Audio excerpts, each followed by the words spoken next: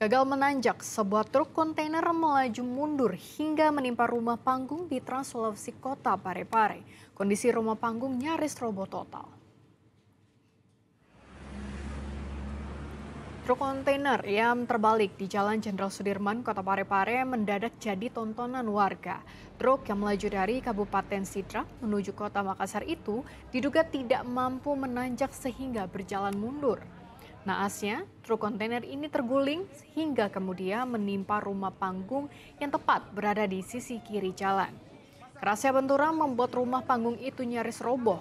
Bangunan kamar mandi yang ada di samping rumah menjadi penahan bangunan sehingga tidak ambruk.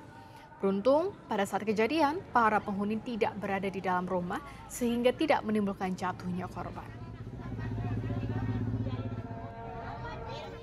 awalnya ini sebelum kejadian eh, di sini memang sudah di atas nih. Anu selalu kode hati-hati. Tapi sempat juga saya selamatkan motor. Karena di sini memang kejadian ekstrim memang di sini.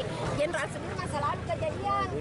Selalu wanti-wanti karena tabrak nanti di rumah bang tabrak. Jadi kebetulan pas saya mau keluar jadi langsung buka turun dari pas lima menit. Lepas dari tangga kejadian Pak. Suamiku Ada- masih ada ada, di atas Ada- rumah ada korban? Alhamdulillah tidak ada Pak. Oh, apa tadi rumah tak? iya